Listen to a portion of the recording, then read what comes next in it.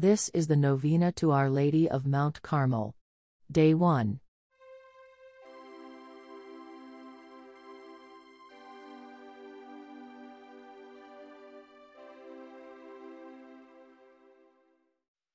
In the name of the Father, and of the Son, and of the Holy Spirit, Amen. Intro Prayer Blessed and Immaculate Virgin, splendid beauty of Carmel, you look with love on all who wear your blessed habit, look kindly on me and spread the mantle of your loving protection over all mankind. By the power of your intercession, strengthen my weakness, and by your wisdom, light up the darkness of my mind. Increase in me those virtues in which you excelled faith, hope, and love. Adorn my soul with such graces and virtues that it may ever be pleasing to your divine Son.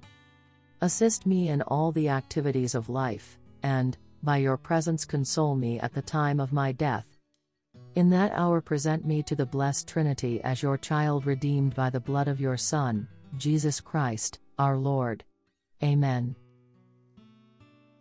O Queen, who are the beauty of Carmel, pray for us now and at the hour of our death. Amen. Daily Prayer O beautiful flower of Carmel, most fruitful vine, splendor of heaven, holy and singular, who brought forth the Son of God, still ever remaining a pure virgin, assist us in our necessity. O star of the sea, help and protect us. Show us that you are our mother. Mention your request here.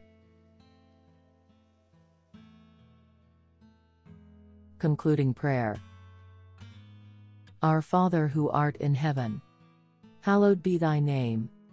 Thy kingdom come. Thy will be done on earth as it is in heaven. Give us this day our daily bread. And forgive us our trespasses, as we forgive those who trespass against us. And lead us not into temptation but deliver us from evil. Amen. Hail Mary, full of grace, the Lord is with you. Blessed are you among women.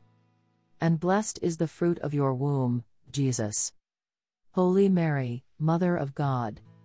Pray for us sinners. Now and at the hour of our death. Amen. Glory be to the Father, the Son, and the Holy Spirit, as it was in the beginning, is now, and ever shall be, world without end. Amen. Our Lady of Mount Carmel, pray for us. In the name of the Father, and of the Son, and of the Holy Spirit, Amen. Thank you for praying with us.